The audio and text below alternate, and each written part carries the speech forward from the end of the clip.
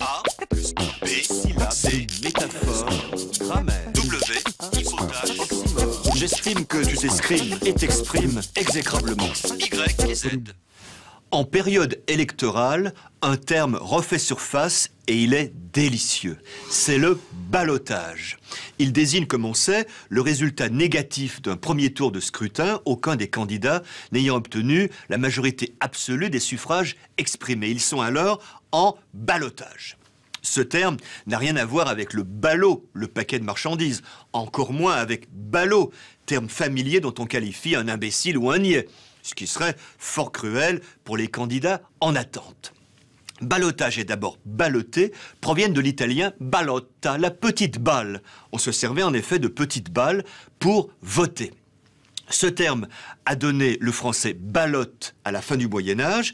À la Renaissance, balloter et ballottage désignent l'acte de voter à l'aide de ballotte. C'est au XIXe siècle que le sens s'est restreint pour désigner un premier tour de scrutin négatif. On est en ballottage, on ne ballotte plus.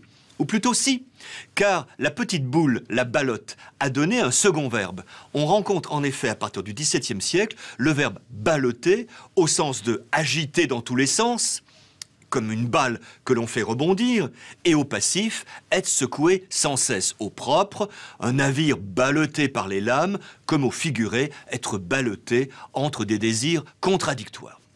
Rien à voir avec les élections. Toutefois, je ne peux m'empêcher de penser que le malheureux candidat en ballottage est quelque peu ballotté par l'indécision de ses électeurs. A plus B syllabes C métaphore